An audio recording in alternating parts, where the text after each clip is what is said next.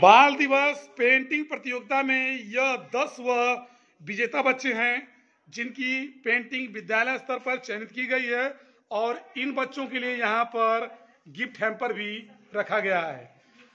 Composite महापुर Mohammad gonna, पढ़े मऊ, बड़े मऊ। बाल दिवस को छुट्टी थी, जिसके कारण आज 16 नवंबर को विद्यालय में चाचा नेहरू, पंडित जवाहरलाल नेहरू की जन्मदिन को मनाया गया, बाल दिवस को मनाया गया।